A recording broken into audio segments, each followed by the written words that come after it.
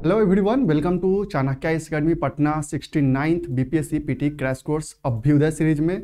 इस सेशन में हम बिहार स्पेशल को कवर कर रहे हैं और बिहार स्पेशल के इस सेशन में मैं बिहार के मध्यकालीन इतिहास के बारे में आपको बताने वाला हूँ। So let's begin the session सब, सबसे पहले हम बात करते हैं जो इम्पोर्टेंट डायनेस्टी थी जो कि मिडिवियल बिहार के दौरान बिहार में रूल्ड कर रही थी। तो जैसा कि जो इंडिया का जो मिडाइबल हिस्ट्री था ऑलरेडी मैंने पाला वंश के बारे में डिस्कशन कर लिया था तो हम यहाँ पे वो उसको अगेन हम फिर से बहुत इन डेप्थ जाके स्टडी नहीं करेंगे, बस बिहार के रेफरेंस के पॉइंट ऑफ़ व्यू से हम इसे देख लेते हैं। तो पाला डायनेस्टी के फाउंडर आपको याद होगा, गोपाला है and the next important king is Dharmapala and the next after that is Devapala, जो ये पाला डायनेस्टी के जो इंपॉर्टेंट रूलर्स थे। अब हम बात करें जैसे गोपाला ने ही उदनपुरी यूनिवर्सिटी का फाउंडेशन किया था। धर्मपाला ने आपको याद होगा विक्रमशिला यूनिवर्सिटी का फाउंडेशन किया। उसके बाद जो मे, मेजर इंपॉर्टेंट डायनेस्टी आता है that is called Sen dynasty जिसका जो फाउंडर थे वो सुमंत सेन थे। आफ्टर दैट जो इंपॉर्टेंट रूलर है वो विजय सेन है बलाल सेन एंड लक्ष्मण सेन। और यही लक्ष्मण सेन के टाइम पीरियड के दौरान बख्तियार खिलजी का इन्वेजन होता है बिहार पे। तो कुछ ये इंपॉर्टेंट डायनेस्टी है। आपको नाम याद रखने चाहिए, ये हायरार्की भी आपको याद रखना चाहिए। हो सकता है बीपीएससी ये हायरार्की से भी क्वेश्चन पूछ सकता है आपसे। आफ्टर दैट हम बात करें तो मिथिला के रीजन में एक बहुत ही इंपॉर्टेंट डायनेस्टी थी that is called Karnat dynasty जिसके फाउंडर थे नान्य देव, जो अप्रॉक्स 50 ईयर्स तक इस रीजन में रूल करते हैं।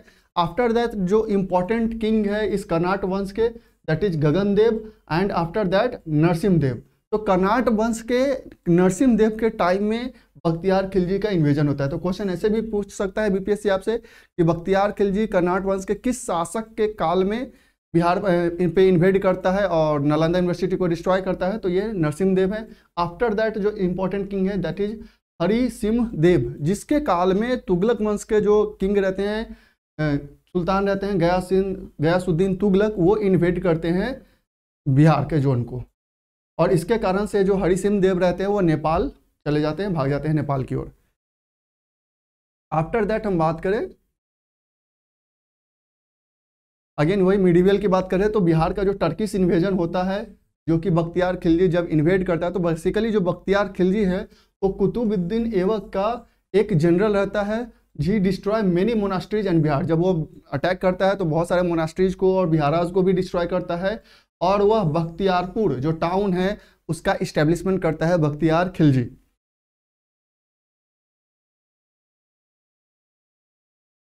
अब बात करते हैं बख्तियार खिलजी के बारे में तो उनका उसका जो मृत्यु होता है, वह बिहार में ही डाइड कर जाता है और उसका जो मसूलियम है, वो बनाया जाता है बिहार शरीफ में। उसका समाधि जो स्थल जो है, वो बिहार शरीफ में बनाया जाता है। Lakhnauti and Tirhut rulers provide major resistance. कि सबसे अधिक बख्तियार बख्तियार खिलजी को जो सबसे अधिक रेसिस्टेंस प्रोवाइड किया जाता है, वो प्रतिरोध जो करते हैं, वो लखनौती और तिरुत रीजन के जो रूलर्स रहते हैं, वो प्रोवाइड करते हैं। Nuhani dynasty emerge as an important dynasty in Bihar during the rule of Tughlaqs. Ghiyasuddin Tughlaq का जिस समय टाइम पीरियड रहता है और तुगलक वंश जिस समय शासन करते रहती है, उस समय नुहानी डायनेस्टी का इमरजेंस होता है in the region of Bihar. Phulchand, a ruler of Chero dynasty, started Jagdishpur fair. और इसी टाइम पीरियड के दौरान जो फूलचंद रहते हैं, जो कि चेयर डायनेस्टी के रूलर रहते हैं, वो जगदीशपुर का जो मेला है कि जो उस समय बहुत काफ़ी फ़ेमस रहता है, उसे यह स्टार्ट करते हैं। अब बात करते हैं बिहार का खिलजी के, जो खिलजी वंश है, उसके टाइम पीरियड में क्या स्थिति था? तो अलाउद्दीन खिलजी जो इस्माइल खान को सेंड करते हैं टू अटैक ऑन बिहार। ये अलाउद्दीन खिलजी, जो खिलजी वंश के एक बहुत ही इंपॉर्टेंट रूलर माने जाते हैं, वो सेंड करते हैं इस्माइल खान को कि आप बिहार को अटैक करो और उसे कैप्चर करो। इस्माइल खान डिफीटेड शक्ति सिंह, जो कि कर्नाट वंश के अगेन एक बहुत ही इंपॉर्टेंट किंग रहते हैं और उसे वह डिफीट कर देते हैं। अब बात करते हैं तुगलक डायनेस्टी की। तो जस्ट हमने जस्ट हमने डिस्कस किया कि गयासुद्दीन तुगलक भी बिहार पे इन्वेड करता है और जो कर्नाट वंश के जो है बहुत ही इंपॉर्टेंट किंग रहते हैं हरी सिंह देव, अब उसके टाइम पीरियड में ये यहाँ पे अटैक करते हैं और वो कनक्योर कर लेते हैं, तिरहुत को अपने कैप्चर में कर लेते हैं और हरी सिंह देव जो है वो नेपाल भाग जाते हैं, नेपाल को चले जाते हैं। Firoz Shah Tughlaq ousted sultan of Bengal and री Kameshwar Thakur founder of Oinwar dynasty in Tirhut region अब जो नेक्स्ट इंपॉर्टेंट किंग रहते हैं, तुगलक वंश के फिरोज शाह तुगलक, जब वो अटैक करते हैं तो बंगाल के सुल्तान को हराते हैं और जो कामेश्वर ठाकुर रहते हैं, जो कि ओइनवर डायनेस्टी के फाउंडर फाउंडर रहते हैं, उसे वहाँ पे इस्टेब्लिश करते हैं तिरहुत रीजन में इस्टेब्लिश करते हैं। तो तुगलक वंश के फिरोज शाह जो तुगलक रहते हैं, उनके हेल्प से ही यह ओइनवर डायनेस्टी का इस्टेब्लिशमेंट होता है in the region of Tirhut और उसके जो फाउंडर रहते हैं वो कामेश्वर ठाकुर रहते हैं।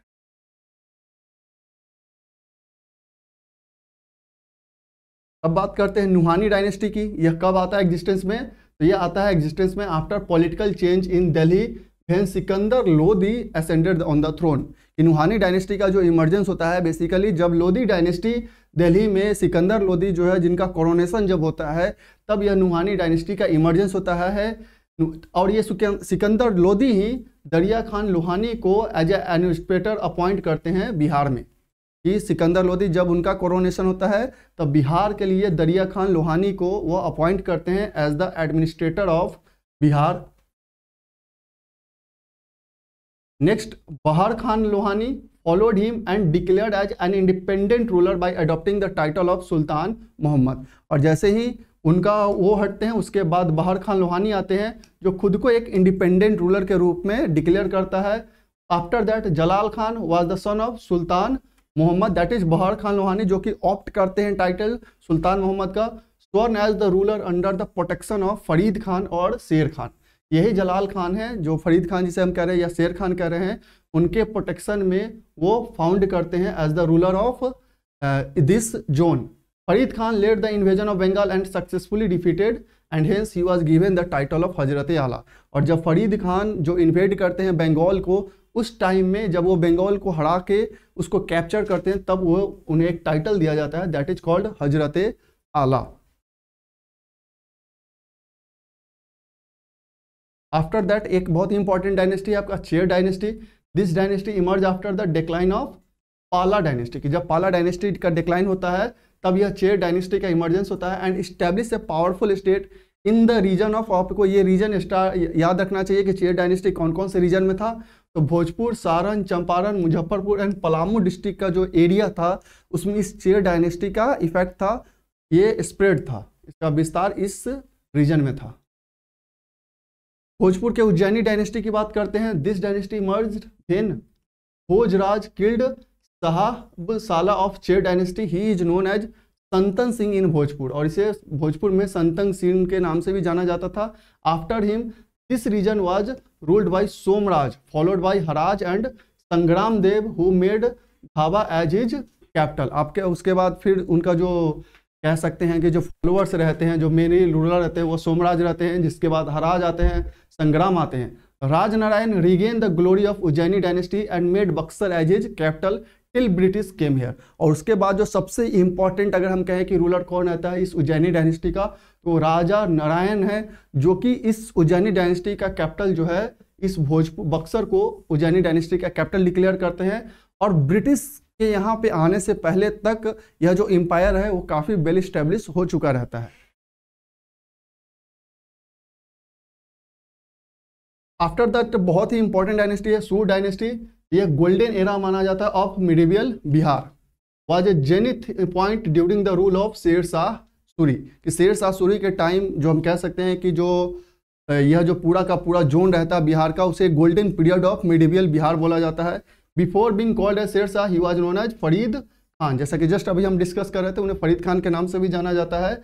He took the title of Sher Shah Sultan A Adil after victory in battle of Chausa जब वो बैटल ऑफ़ चौसा में हुमायूं को हुमायूं को डिफीट कर देते हैं, तब उन्हें एक टाइटल ऑप्ट करते हैं, शेर शाह सुल्तान आदिल। तो बैटल ऑफ़ चौसा में जब वो हुमायूं को डिफीट करते हैं और उसके बाद पूरा का पूरा रीजन को जब वो कैप्चर करते हैं, हालाँकि ये बहुत लंबे समय तक ये रूल्ड नहीं कर पाते हैं, लेकिन जो भी इनका पीरियड रहता है, वो गोल्डन पीरियड माना जाता है बिहार के मिडिवियल हिस्ट्री में। बिहार अंडर मुगल रूल की हम बात करें तो जितने भी मुगल रूलर्स आए उन्होंने अपने गवर्नर्स को बिहार में अपॉइंट किया। इससे बीपीएससी बहुत बैक ईयर्स प्रीवियस ईयर में क्वेश्चन पूछ चुकी है। तो अगर हम पहले बात करें जहांगीर का तो जहांगीर ने बेग बहादुर को as the governor of Bihar appoint किया था। ये पॉइंट्स आपको याद रखने चाहिए, क्योंकि बीपीएससी ऑलरेडी इससे क्वेश्चन प्रीवियस ईयर में पूछ चुकी है।